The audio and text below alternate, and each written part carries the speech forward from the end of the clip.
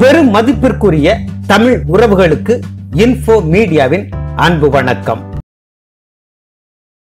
தமிழக முதலமைச்சராக பதவியேற்றுக் கொண்ட மு க ஸ்டாலின் அமைச்சர்கள் கூட்டத்தில் உரையாற்றும் போது அமைச்சர்கள் தங்கள் துறையில் ஏதேனும் தவறு செய்தால் உடனடியாக பதவியில் இருந்து நீக்கப்படுவார்கள். அமைச்சர்களின் உதவியாளர்கள் நியமனம் உட்பட அனைத்தும் வெளிப்படைத்தன்மையுடன் இருக்க வேண்டும். பல எம்எல்ஏக்களுக்கு வாய்ப்பில்லாத நிலையில் அமைச்சர்களாக பதவி ஏற்று இருப்போர் பொறுப்புடன் செயல்பட வேண்டும். பத்து ஆண்டுகளாக திமுக ஆட்சியில் இல்லாத நிலையில் மிக சிறப்பாக செயல்பட்டு பொதுமக்களின் அங்கீகாரத்தை பெற வேண்டும் என அறிவுறுத்தி இருக்கிறார். நல்ல விஷயம். பெருமையாகத்தான் இருக்கிறது.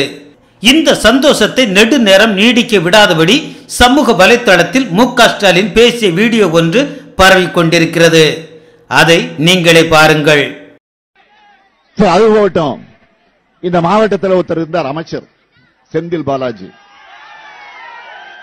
அவரை பத்தி சொல்ல வேண்டிய அவசியமே இல்லை.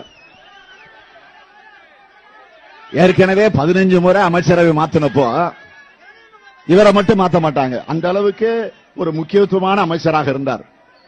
ஜெயலலிதாவுக்கு நெருக்கமாக அதைவிட சசிகலாவுக்கு நெருக்கமாக அதைவிட இளவரசிக்கு மிக மிக நெருக்கமாக இருந்தவர் செந்தில் பாலாஜி. அந்த செந்தில் பாலாஜி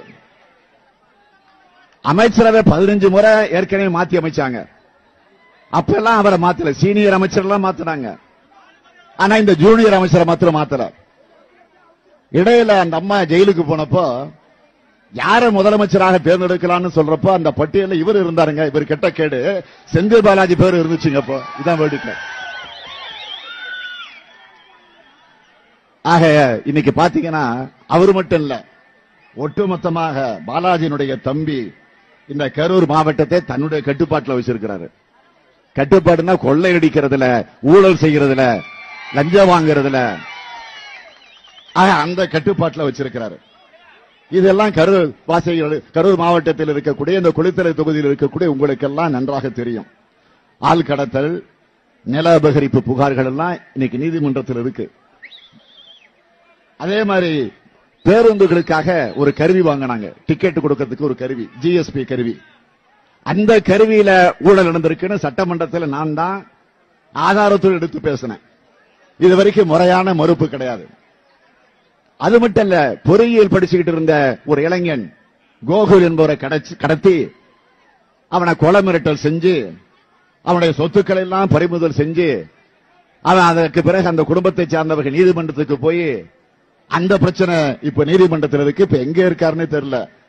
அந்த கோகுல் தலைமறைவாகி எங்க இருக்கிறார் என்று தெரிய முடியாத நிலையில இன்றைக்கு இருந்து கொண்டிருக்கு.